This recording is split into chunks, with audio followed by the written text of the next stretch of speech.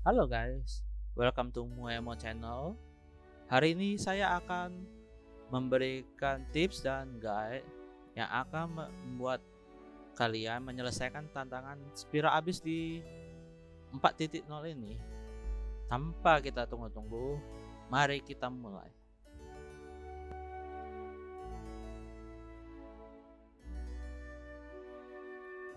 Untuk efek blessing yang perlu Anda ketahui adalah jika karakter Anda terkena heal atau regen HP, karakter tersebut akan mendapatkan penambahan attack sebanyak 10% dan itu berlaku selama 10 detik di waktu yang bersamaan.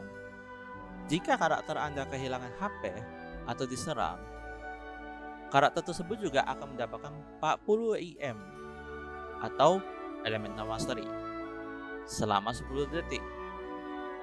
Blessing ini bisa di start sebanyak tiga kali dan itu cuman karakter individu yang mendapatkan efek tersebut. Jika kalian mengganti karakter, maka efek tersebut dimulai dari nol lagi.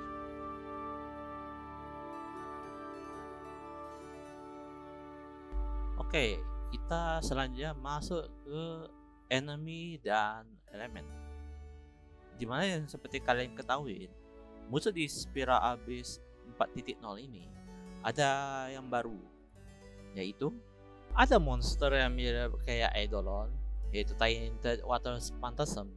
Dan ada robot yang namanya Specialist Mech punya Penuma dan Osia ada juga monster yang namanya Lars Breacher Primus dan bos kepiting yang namanya Emperor of Fire and Iron.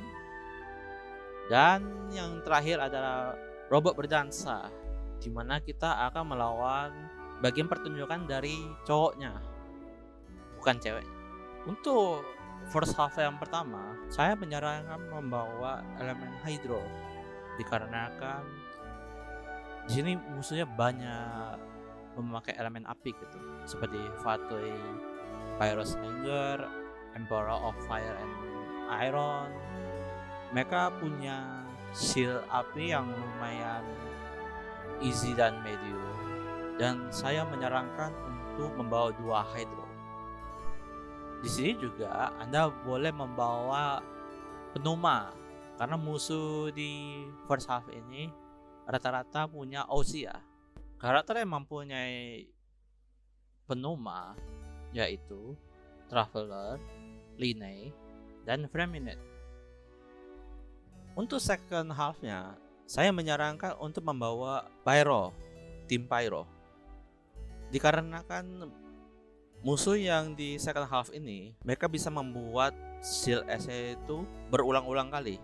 Dan itu akan membuat anda kehabisan waktu untuk menyelesaikan tantangan ini. Jika kalian kesulitan dalam menghadapi boss di chamber ketiga saya menyarankan untuk membawa Osia yaitu Linete dikarenakan musuhnya itu punya penuma dan itu sangat membantu untuk menghancurkan shield tersebut jika tidak ada pyro.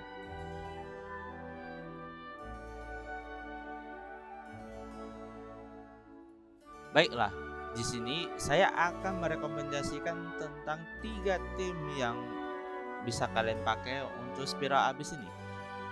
Tim pertama itu berisi Taser dan Mel. Tim kedua itu Hyper Bloom dan Vaporize. Dan tim ketiga, Anda bisa memakai Spread atau Aggravate dan Raiden Hyper Carry.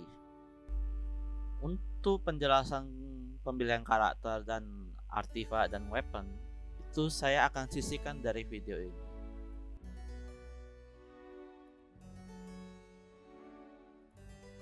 Di chamber pertama, first half pertama, posisi Mago Kenki sudah berada di tengah. Dan ini sangat sulit untuk menahan dia untuk tidak berteleportasi. Tapi saya mempunyai satu cara untuk menahan atau mendelay posisi dia agar tidak berteleportasi dulu, yaitu jangan mendekat atau berdempet dengan Magu Genki setelah animasi serangannya selesai. Seperti yang Anda lihat, saya memakai elemental skillnya Lisa untuk menahan posisi saya dan posisi Magu Genki, di mana ini akan memancing serangan animasi keduanya Magu Kenki. Dengan mendelay Magu Kenki, saya bisa melakukan full rotasi tim combo saya. Seperti yang Anda lihat, ketika animasi serangan keduanya selesai, dia akan berpindah. Dan trik ini bisa Anda ulangi terus setelah animasi keduanya selesai atau lebih tepat setelah dia berpindah posisi inilah trik yang saya pakai untuk melakukan melawan Bakuke.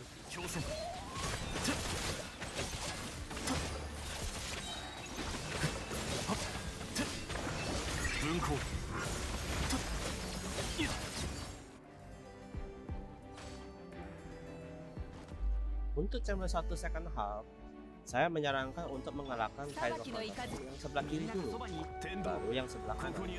Ya, dikarenakan nanti hydro contestant yang jauh akan berubah menjadi nyere dan mendekati kita setelah mengalahkan hydro yang sebelah kiri langsung lari ke yang sebelah kanan.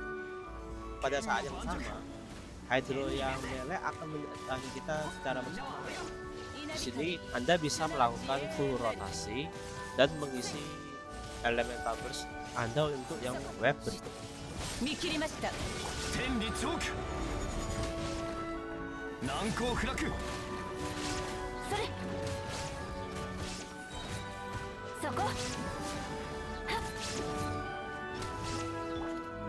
Di web kedua, saya menyarankan untuk melawan Cyclotine Mage atau spesialis Mech terlebih dahulu. Kalian tidak perlu khawatir tentang spesialis Mech konstruksi, karena dia akan mendatangi kita terus selagi kita mengurus dua musuh tersebut jika kalian bisa mendorong suppression Specialist ke arah Cyclo Cincin Patuy Mage lebih mempercepat kalian untuk menyelesaikan chamber satu ini. Dikarenakan saya mempunyai waktu lebih saya menggunakan kesempatan ini untuk mengisi elemen tabur saya untuk rotasi berikutnya di chamber 2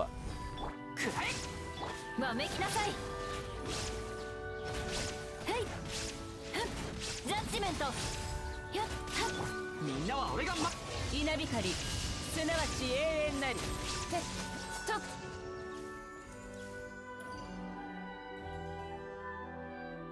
Di second chamber first half, hal pertama yang anda lakuin adalah bisa diam tempat atau menghindar untuk serangan pertamanya ke pintu. お仕置き Kedua, Anda akan membawa ha- satu hydro minimal untuk memecahkan tanduk yang di atas keping ini.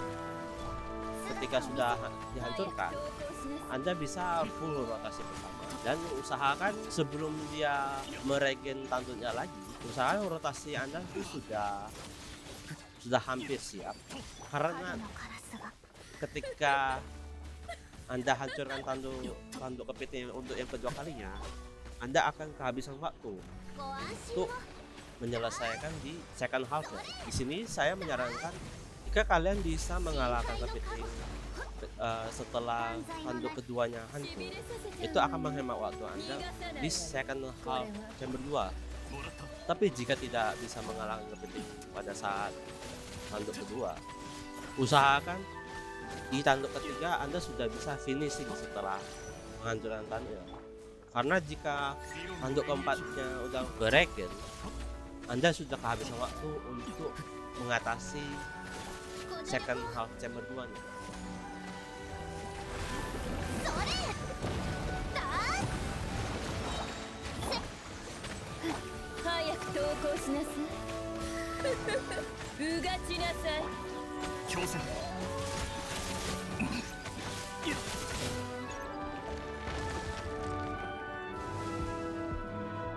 Baik, di second half chamber 2 target pertama yang anda mesti incar adalah RM match yang bisa men-summon Paladin karena dia elemen api bisa men-trigger overload dari RMS yang thunder.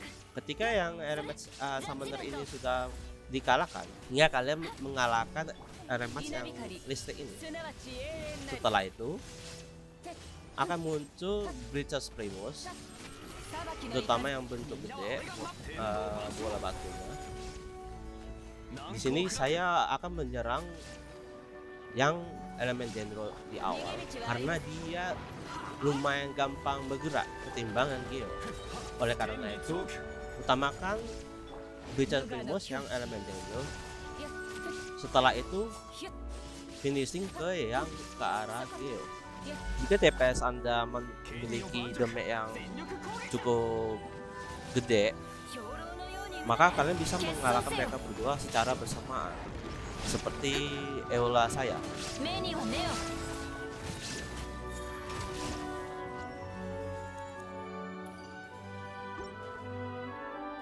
Untuk chamber 3 first ya, saya memakai trik di mana tanpa memakai anemo dengan cara memancing uh, Pyro Fatu ini ngedes ke belakang mendekati Summoner Dendro kemudian Anda bisa mulai rotasi pertama.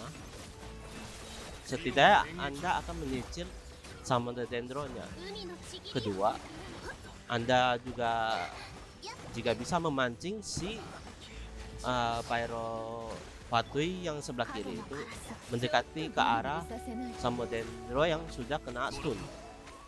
Dengan begitu, Anda bisa finishing ke dua kedua orang tersebut. Setelah itu, saya menyarankan untuk menyicil robot bermodel cewek ke arah darah setengah atau seperempat. Kemudian, Anda bisa berubah target ke arah spesialisme yang berbentuk model cowok jika kalian sudah mengumpulkan mereka berdua di satu tempat, kalian bisa melakukan full rotasi elemental burst dan itu akan menghemat waktu anda untuk melawan bos di second.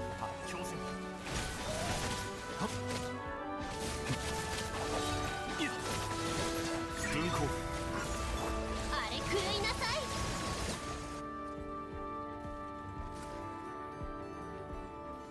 Baiklah, Dre untuk melawan bos di chamber 3 second half ini adalah usahakan secepat mungkin menghancurkan seal S nya yang akan di diregen atau dibuat sebanyak tiga kali.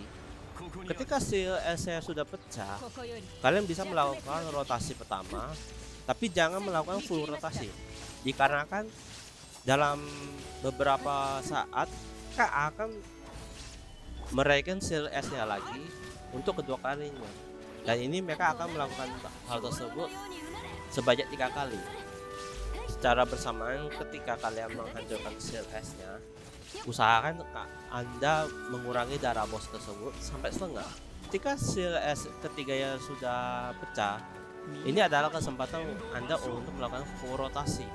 Jika kalian tidak sempat untuk menghabisi bos tersebut, dalam beberapa saat mereka akan meregen seal S lagi di mana kalian mesti menghancurkan seal S tersebut tiga kali.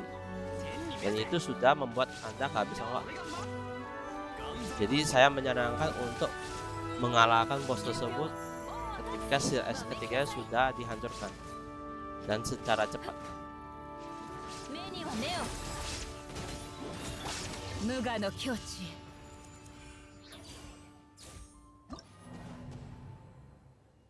Dan itulah caranya untuk mengeluarkan Spira Abyss di 4.0. Jika saya ada kesalahan atau jika saya ada kesalahan dalam menjelaskan atau pengucapan, eh, saya minta maaf. Dan saya akan mengupload berdasarkan tim komposisi yang berbeda-beda. Dan terima kasih sudah mampir di channel ini. Sampai jumpa di video yang berikutnya. Bye bye.